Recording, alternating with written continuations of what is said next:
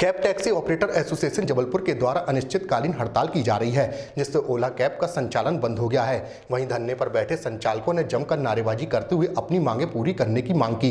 हम आपको बता दें कि 18 फरवरी से लगातार हड़ताल जारी है।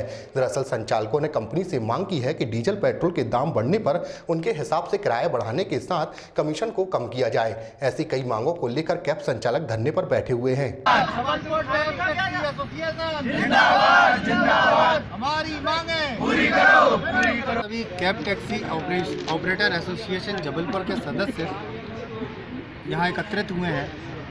दिनांक 18 फरवरी से हमारी हड़ताल यहाँ पे जारी है। ओला टैक्सी में अटैच्ड यहाँ सभी ऑपरेटर और ड्राइवर बंधु उपस्थित हैं। पाँच तारीख विगत फरवरी से हमने सर्वप्रथम कंपनी को अपनी मांगें उठाई थी कि जिस प्रकार डीजल के रेट बढ़ रहे हैं उसके हिसाब से हमारा किराया बढ़ाया जाए। जिस प्रकार अपना कमीशन अब 27 परसेंट के लगभग ले रहे हैं, उसमें कमी की जाए। पूर्वी की तरह जो एमबीजी और इंसेंटिव स्कीम चलाई जाती थी, वह फिर से लागू की जाए।